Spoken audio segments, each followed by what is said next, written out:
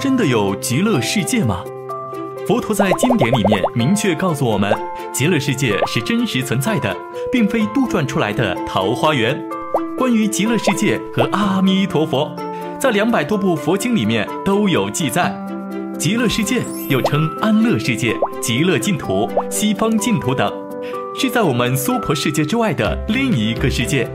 唐朝善导大师证得了念佛三昧和观佛三昧，极乐世界的种种庄严美好，全都真真实实的呈现在他眼前。而且古往今来的很多传记里面，也都明确记载了念佛人往生到极乐世界的情景。所以极乐世界是真实存在的哦，想要去那里就赶快念佛吧。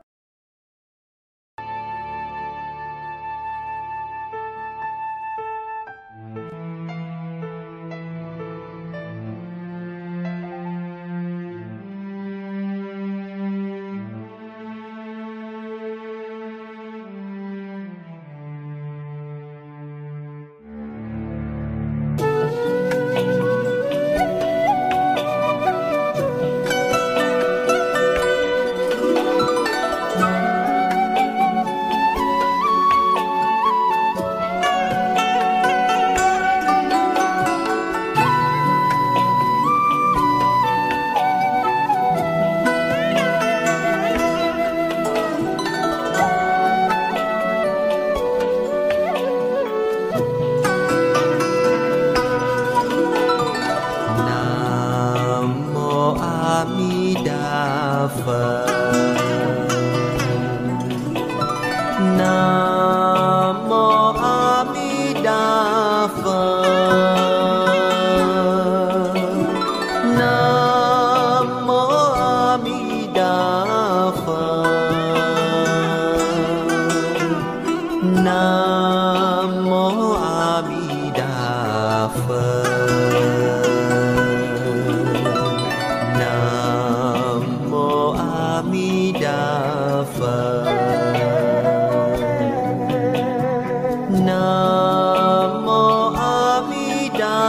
Nam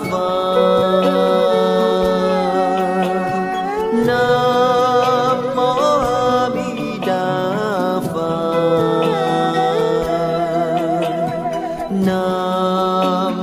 A Di Đà Phật.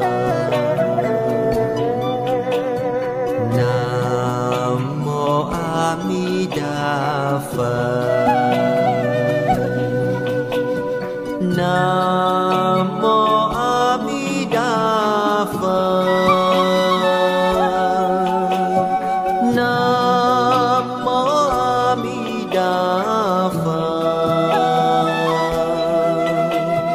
Nam Mô A Di Đà Phật.